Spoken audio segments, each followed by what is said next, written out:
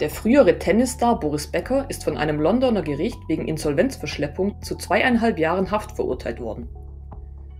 Dieses Strafmaß verkündete Richterin Deborah Taylor am Southwark Crown Court in der britischen Hauptstadt. Die Hälfte der Strafe wird demnach zur Bewährung ausgesetzt.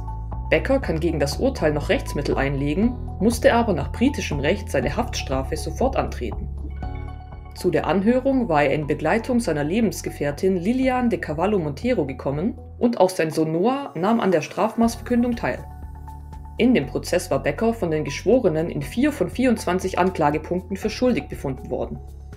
Die Geschworenen gelangten unter anderem zu dem Schluss, dass Becker in seinem Insolvenzverfahren seinen Offenlegungspflichten nicht vollständig nachgekommen sei.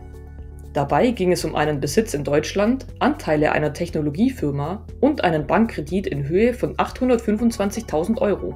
Außerdem hatte Becker nach Auffassung der Geschworenen große Summen von einem Geschäftskonto unter anderem auf Konten seiner Ex-Frauen Barbara und Lilly Becker überwiesen.